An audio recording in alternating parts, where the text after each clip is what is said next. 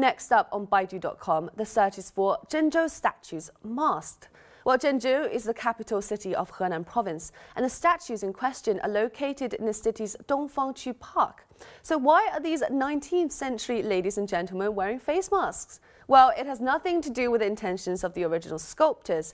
In fact, these are real masks placed over the statues by local residents. It's a creative protest and not so subtle reminder that the local powers of just how appalling air pollution in the city has become recently. Local media reports that the density of PM 2.5 particles regularly went off the air quality index scale recently. Well, PM 2.5 refers to the tiny airborne particles less than 2.5 microns in diameter, which pose the most dangers to human lungs.